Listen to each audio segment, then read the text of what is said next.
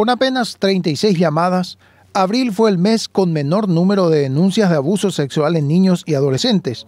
En contrapartida, noviembre es el mes con mayor número de denuncias en lo que va del año, siendo los niños de 0 a 8 años los más afectados, informaron desde el Ministerio de la Niñez y la Adolescencia. En octubre tuvimos 682 de estas tres categorías, sumándolas, y en noviembre tuvimos 717. Aumenta significativamente en el rango de lo que es abuso sexual.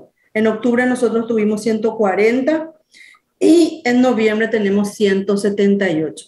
Las estadísticas demuestran que las denuncias de violencia hacia los niños y adolescentes aumentan en esta época del año por diversos factores socioambientales. Históricamente nosotros vemos de que noviembre, diciembre, enero, febrero eh, va, va subiendo esa, esa, esa situación, ¿verdad? La gente está más activa, hay mayor consumo de alcohol, hay mayores eh, actividades festivas donde el consumo de alcohol y otras sustancias están presentes. Eh, entonces, eh, se va dando una ascendencia importante. Fondo Ayuda 147 es un servicio disponible las 24 horas del día.